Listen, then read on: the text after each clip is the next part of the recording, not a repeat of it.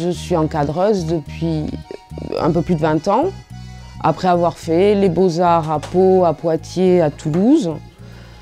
Et j'ai pris la suite il y a 20 ans des frères Soulsener qui étaient donc euh, à Saint-Jean-de-Luz, rue Garat.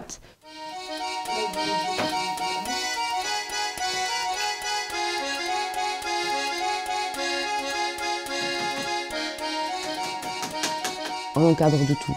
J'ai même encadré couche culotte, si vous voulez, euh, propre et signée par les parents, euh, voilà. Euh, des hameçons, par exemple, des leurres, euh, voilà, ça m'est arrivé aussi. Bon, ça pique, on fait des boîtes. Bon, après, évidemment, toutes les toiles, les photos, mais des objets aussi en 3D, par exemple des poupées ramenées d'Afrique du Sud, enfin, ou des, des, poupées anciennes comme ça, avec lesquelles on fait des boîtes sur mesure. Alors là, là j'ai une, deux, j'ai quatre cadres à faire pour quatre images du même artiste. Euh, journaux qui a servi à faire des plaques, euh, qui a travaillé pour NOS à faire des plaques émaillées. Donc j'ai une grande plaque émaillée. Le but c'était que tout soit gris, donc le gris est prêt pour peindre ça. Et on fait les choses entre deux verres. C'est-à-dire qu'on va mettre une vitre, une vitre propre, nettoyée, n'est-ce pas? On va mettre l'image qu'on va fixer ici avec des doubles faces, mais euh, à pH neutre et tout ça, pour pas que, le, que la colle euh, abîme un jour les images. On met la seconde vitre. Là, le cadre, je l'ai coupé, euh, poncé, et il est prêt à être peint en gris anthracite. Donc, on va le positionner comme ça. Ce qu'on appelle le passe-partout, ça va être la vitre, ça va être l'espace, et ça va être le mur derrière. Et après, je, fixe des réhausses ici pour que les vitres tiennent. Au départ, là, quand moi j'ai pris la suite, c'était ça, c'était encadrer les peintures des autres, à défaut de faire les siennes. Euh, et donc, moi, ce que j'ai trouvé très intéressant, c'est que c'est jamais pareil. L'encadrement d'art, c'est jamais pareil. On a des œuvres différentes qui vont de la peinture, euh, j'en sais rien, trouvée à Paris d'un grand peintre, au maître actuel du Pays Basque à des choses, à des photos d'amateurs ou de professionnels, euh, avec plein de matières différentes. Euh, J'ai encadré aussi des choses peintes sur verre. Donc c'est ça qui est, qui est bien, c'est que on, voit plein d'œuvres d'art, quoi, finalement.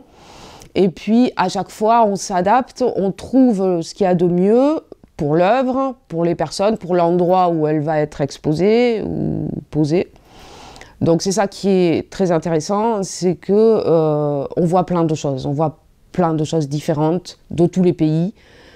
Alors avant le confinement, quand ça voyageait beaucoup, les gens revenaient avec des toiles roulées de plein de pays, donc ça je l'étends sur châssis et tout, et puis ça me permet de voir des choses qui viennent de, de toute la planète quoi en fait. C'est le travail de cet artiste fait sur plaque émaillée, et, voilà la couleur commune à toutes les œuvres quoi. Donc le gris, il est là, il est fait. Ça, c'était du frêne que j'ai coupé, poncé et peint. C'est ce que je vais faire là-dessus. Quand j'ai pris la, suite des frères Soulsener, j'ai travaillé comme eux. Donc eux travaillaient au clou. Au lieu de travailler au pistolet pour fixer à l'arrière euh, les cartons de cadre, j'ai toujours travaillé au clou. Euh, parce que des fois, il y a des baguettes très fines et, très fragiles. Euh, et puis quand c'est au clou, on risque pas de casser la vitre, ou beaucoup moins. Enfin voilà, à l'ancienne, au marteau, avec le marteau d'encadreur et des clous spéciaux encadrement.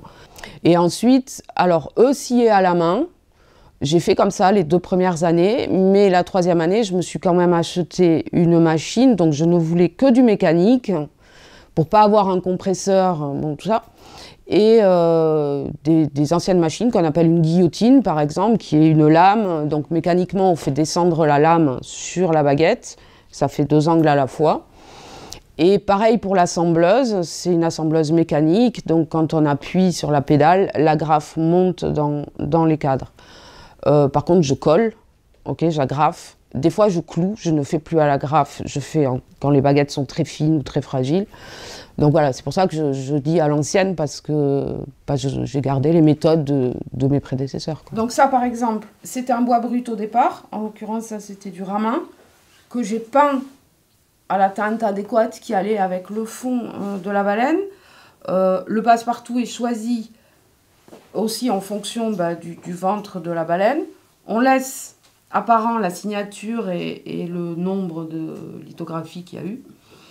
Et en plus, sur celui-là, il y a un verre plus transparent que le verre classique, donc un verre euh, Art Glass 70 qui filtre à 70% les UV et, en même temps qui empêche les reflets. Bon, là, peut-être qu'on voit mes néons dedans.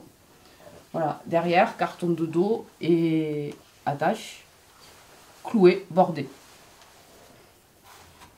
Je prends des bois bruts, du chêne, du hêtre, du frêne, du, de l'érable, euh, voilà, enfin, du coteau, enfin plein de bois différents que je travaille en brut, c'est-à-dire que je vais poncer, couper à la taille qu'il faut, poncer et après peindre à la couleur que je fais, que le client veut, que je peins moi-même, que voilà, soit à l'acrylique, soit à l'huile, soit à l'encre, enfin selon, selon le rendu voulu quoi.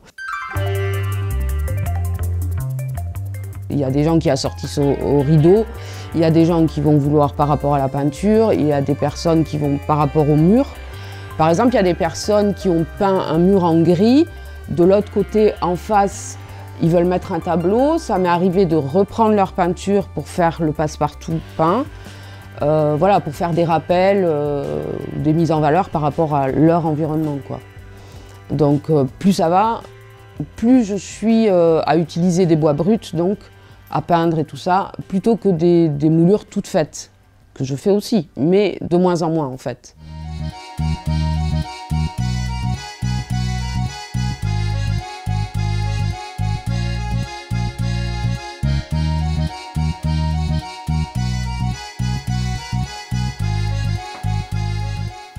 Soupçonnaire, mes prédécesseurs disaient le cadre, c'est la récompense du peintre. Donc il y a des fois aussi des encadrements qui ont très mal vieilli et qui font que la peinture est mangée par l'encadrement ou, voilà, elle est plus adaptée quoi.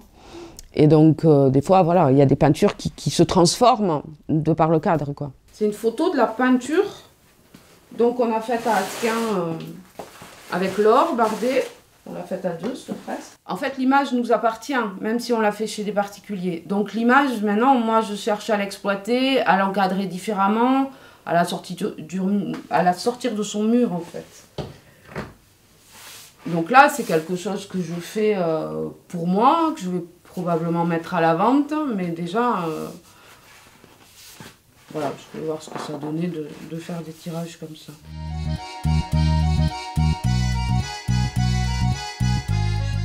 J'aimerais faire un peu plus de peinture parce qu'à force de voir toujours les peintures des autres, il y a une petite frustration qui s'installe. Donc un peu soulagé avec la fresque et tout, avec un projet d'autres fresques.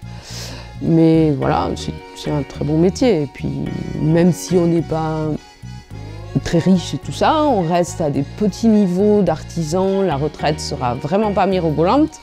Néanmoins, on est à Saint-Jean-de-Luz, je vois plein d'images, de très belles peintures. Voilà quoi. Donc c'est quand même le bonheur.